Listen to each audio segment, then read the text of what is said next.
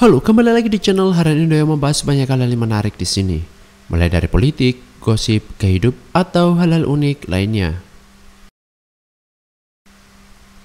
Seiring dengan terpublikasinya skandal penyelundupan moge Harley Davidson dan sepeda mahal Brompton, sehingga Direktur Utama Garuda Indonesia, Igusti Nyurah Askara alias Ari Askara, beredar pula rumor tak sedap tentang pria tersebut. Rumor itu adalah Ari Baskara mempunyai hubungan spesial dengan pramugari Garuda Indonesia.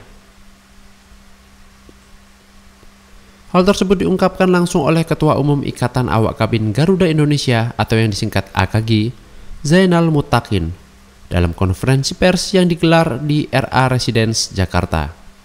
Orang keuangan tahun 2018 yang rugi menjadi untung, suguhan live musik akustik di pesawat terbang pengalihan rute penerbangan London dan London dan Amsterdam via Denpasar, larangan foto dan video dalam pesawat terbang, hingga penyelundupan.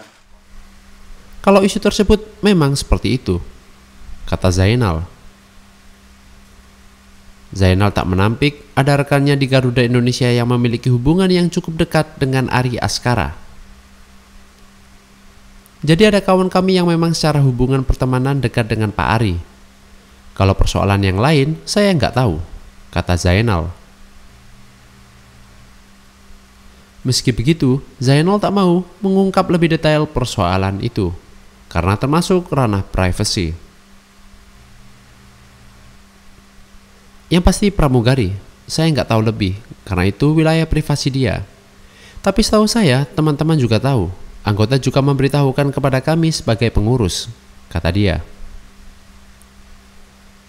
Sebelumnya, Direktur Utama PT Garuda Indonesia Persero terbuka, Igusti Ngurah Askara Dana Diputra atau Ari Askara dipecat oleh Menteri Badan Usaha Milik Negara Erick Thohir. Pencopotan ini ihwal dari kasus penyelundupan barang mewah selundupan Harley Davidson dan sepeda Brompton. Sementara itu, Kementerian Badan Usaha Milik Negara juga mengaku telah mendapati keluhan terkait perlakuan manajemen Garuda Indonesia terhadap pramugari. Bahkan, beberapa karyawan mengeluh dapat perlakuan yang tak manusiawi. Banyak laporan-laporan bahwa umpamanya karyawan bekerja di luar kemampuannya dalam arti manusiawi. Kata staf Menteri Badan Usaha Milik Negara Arya Sinulinga saat ditemui di Kementerian BUMN Jakarta Jumat 6 Desember 2019. Arya menyebutkan perlakuan yang tak manusiawi tersebut contohnya para awak pesawat yang dipaksa bekerja melayani penumpang terus-terusan tanpa adanya istirahat. Ke Sydney bisa pramugari pulang pergi, jadi mereka nggak nginep 8 jam, perjalanan 8 jam balik lagi. Jelas Arya. Tak hanya melakukan perlakuan yang tak mengenakan kepada karyawan. Arya menyebut, sebelum ramai kasus barang mewah selundupan, direksi juga melakukan pelanggaran berupa tak meminta izin melakukan perjalanan dinas ke Toulouse, Perancis.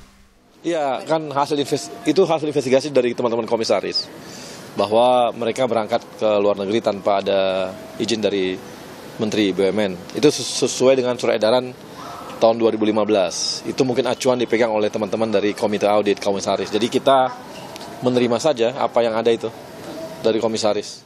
Pak Erik sih selalu mengatakan urusan bisnis ya silakan, tapi jangan dicampur-campur dengan urusan liburan, wisata. Kalau wisata ya wisata aja, nggak perlu urusan kerja ditomplengi dengan uh, urusan uh, kerjaan.